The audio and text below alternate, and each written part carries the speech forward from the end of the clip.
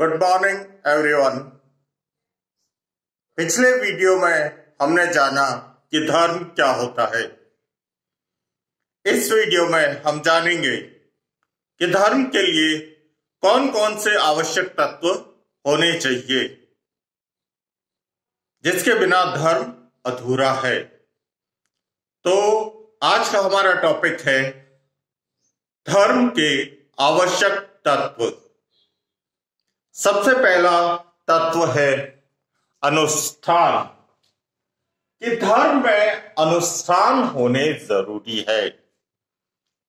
जैसे हिंदू धर्म में यज्ञ होता है, हवन होता है, आरती होती है। क्रिश्चियन धर्म में जीसस क्राइस्ट के सामने कैंडल जलाई जाती है। क्रिसमस डे 25 दिसंबर को सांता क्लॉज गिफ्ट देते हैं। तो क्रिश्चियन धर्म में गिफ्ट देने की परंपरा है।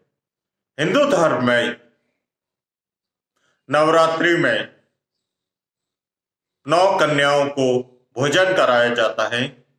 उनका आशीर्वाद लिया जाता है। तो ऐसे अनुष्ठान जो है, वो हर धर्म में होते हैं और अनुष्ठान सबसे पहला आवश्यक तत्व है किसी भी धर्म के लिए।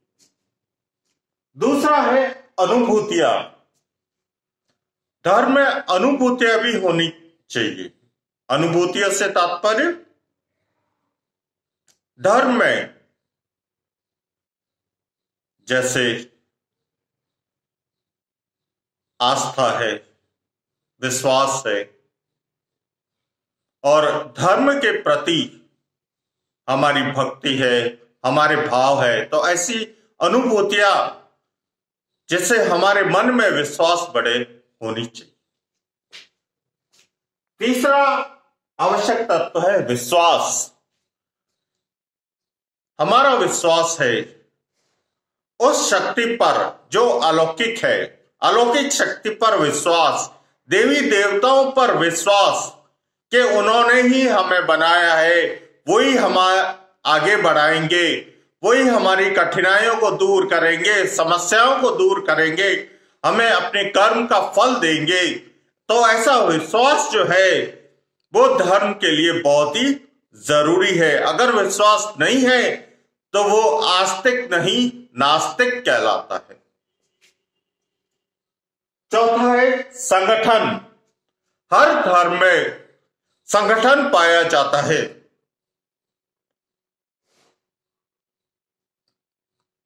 वो संगठन उस धर्म की विशिष्ट क्रियाओं को निर्देशित करता है मतलब विशिष्ट क्रियाएँ करता है। जैसे हिंदू धर्म में कुमकुम का तिलक लगाने की, चावल लगाने की प्रथा है, किसी भी कार्य, किसी भी शुभ कार्य पर जाते हैं तो दही और गुड़ खिलाया जाता है। तो क्रिश्चियन धर्म में ऐसे ऐसे ऐसे ऐसे किया जाता है। हिंदू धर्म में हाथ जोड़े जाते हैं। भगवान के सामने प्रार्थना की जाती है।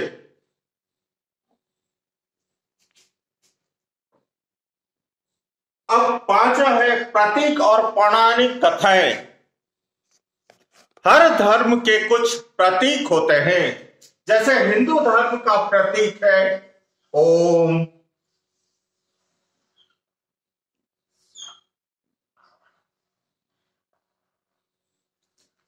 मुस्लिम धर्म का प्रतीक है सात सौ छियासी। ईसाई धर्म का प्रतीक है क्रॉस। तो हर धर्म में कुछ न कुछ प्रतीक चिन्ह होते हैं। उन प्रतीक चिन्हों के आधार पर ही हम ये जान पाते हैं कि ये व्यक्ति जो है, वो हिंदू धर्म से है, मुस्लिम धर्म से ईसाई धर्म से है, जैन धर्म से है, बौद्ध धर्म से, कौन से धर्म से है। और धर्म के प्रतीक के अलावा पौराणिक गाथाएँ भी होती है हर धर्म में।